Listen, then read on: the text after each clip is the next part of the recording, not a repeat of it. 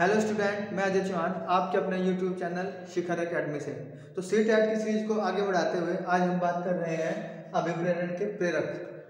जो हमें मोटिवेट करते हैं, वो प्रेरक कौन कौन से हैं?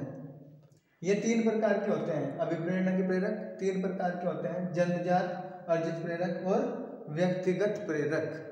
जन्मजात प्रेरक, वो प्रेरक होते हैं जो हमें कहीं बाहर से नहीं लेने होते जो ऑलरेडी हमारे अंदर रहते हैं। इस चीज़ को आप ऐसे समझिए, जैसे आप कोई नया मोबाइल खरीदते हैं, उसमें दो तरह के सॉफ्टवेयर होते हैं। एक वो जो मोबाइल के साथ ऑलरेडी आते हैं, और एक वो जो आप बाहर से इंस्टॉल करते हैं। जो ऑलरेडी मोबाइल के साथ आते हैं, वो है जन्मजात प्रेरक, भूख, प्यास, सुरक्षा। ये आपके जन्मजात प्रेरक हैं। कैसे? आपने कभी किसी से पूछा है कि मुझे बताना भाई, एक बजे बैठ के कैसे भूख लगेगी? या मुझे बताना, सुबह का नाश्ता?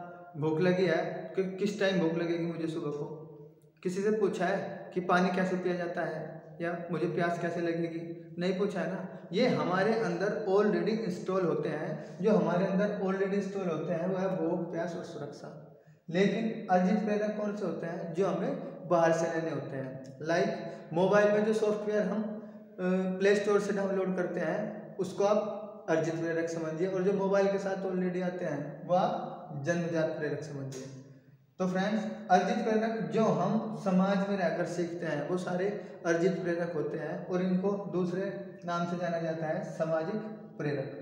व्यक्तिगत प्रेरक कौन से होते हैं? एक ऐसी आदत, एक आदत रुचि, अचेतनता, ये व्यक्तिगत प्रेरक है। जैसे किसी की आदत है जैसे राहुल गांधी करते हैं जैसे यूँ यूँ बार बार ऐसे करते रहते हैं। रामदेव जी बात करते करते यूँ आँख मारते रहते हैं बार बार। ये उनका व्यक्तिगत है, ये हर किसी के अंदर आपको नहीं मिलेगा।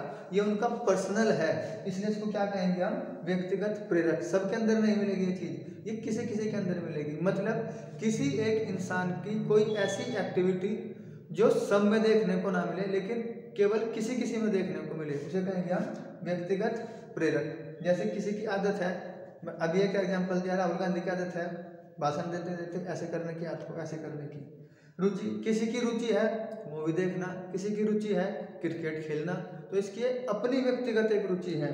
अचेतनता किसे कहते हैं? जैसे आप जहाँ होते हैं, वहाँ नहीं होते। मतलब फिजिकली जहाँ होते हैं मेंटली वहाँ पर नहीं होते। इसी चीज़ को अचेतनता कहा जाता है सिंपल से शब्दों में।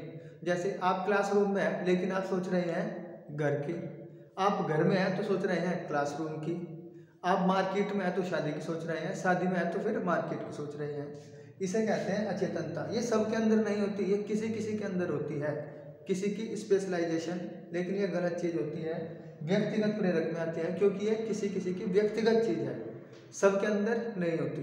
तो फ्रेंड्स ये आपका टॉपिक था अभिप्रेरणा के प्रेरक तीन प्रकार के, जन्मजात, अर्जित और व्यक्तिगत। जन्मजात जो हमारे अंदर ऑलरेडी है, अर्जित जो हम समाज से सीखते हैं, और व्यक्तिगत जो किसी की, जो किसी किसी में दिखाई दे, वो कहते हैं व्यक्तिगत प्रेरक। ये टॉपिक यहीं पर ख़त्म होता है। तो फ्रेंड्स जैसे कि मैं आपको रोज़ बता रहा हूँ कि अगर आप लगातार ये वीडियोस देखते हैं तो मैं गारंटी देता हूँ आपके सी टेट में, इसी वाले सेशन में 2021 का जो पेपर होने वाला है, उसमें आपके 100 से 120 मार्क्स आ जाएँगे। लेकिन आपको लगातार वीडियो देखते रहना है और वीडियो को अपने फ्रेंड्स में शेयर करते रहना है। So friend thanks